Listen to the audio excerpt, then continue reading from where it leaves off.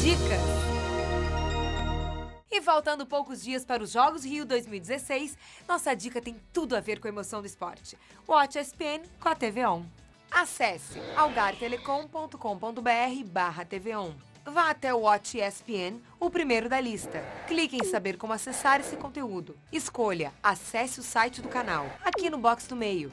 Agora no site da ESPN, clique em Login. Escolha Algar Telecom. Insira seu login e senha, o mesmo que usa no nosso site. Agora você pode escolher entre a programação ao vivo. O Wagner Mancini, no final de semana, reclamou muito da arbitragem. Ou reprises, entre outras opções. Já está na frente o líder da corrida de novo, venceu a primeira bateria. Mas se você quer curtir os jogos na palma da mão, também rola. No site do canal, ali do lado de onde você fez o login, clique em baixar o aplicativo. Se o seu aparelho for iOS, clique em Apple Store e baixe o aplicativo Watch ESPN. Se for Android, escolha Google Play e baixe o app.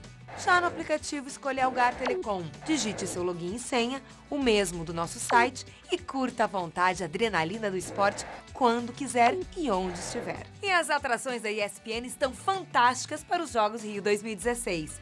Serão mais de 700 horas ao vivo que você também pode ver no Watch ESPN. E com a TV On você faz parte desse clube. Mas já sabe, para ter o Watch ESPN, tem que assinar os canais ESPN. Dicas